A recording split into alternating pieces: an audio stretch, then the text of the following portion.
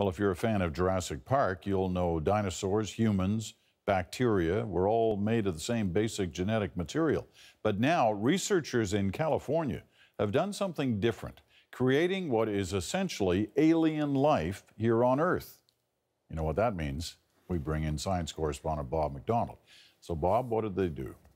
Well, Peter, they did some really interesting thing by manipulating DNA and creating some two new letters. I have a graphic here that shows what DNA looks like. It's a ladder and it's based on four chemicals. All life on Earth is ACTG. And what they did was create two new artificial letters and they swapped them out in some DNA, made synthetic DNA, and they put it inside a living cell. And this cell accepted that DNA and was even able to reproduce. So this is the first time that they've done it inside a living organism. And the hopes is, is that in the future they might be able to, to design bacteria to make useful products for us, like uh, proteins or specific pharmaceuticals. It's just a very, very specific engineering of these bacteria, but they are essentially alien life. Well, there's some excitement around this, but also some criticism.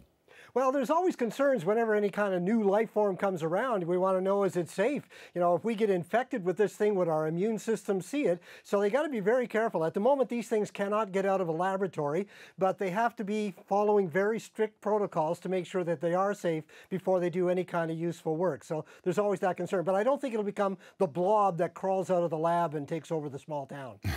okay. Now, eh, this also does tell us something about the way we think about life in our universe. Oh, absolutely. I mean, the fact that this cell accepted alien DNA uh, says that the kind of life that we find as we look for life on other worlds out there in the universe doesn't necessarily have to have our chemistry. It could be entirely different. And I find that really interesting. That means that we're not just looking for ourselves out there, we could meet something entirely different, and it gives a whole new meaning to the term diversity. So who knows what we're going to find when we find our alien neighbors in space. All right, Bob. Thanks very much much. Bob McDonald, he joins us from Victoria tonight.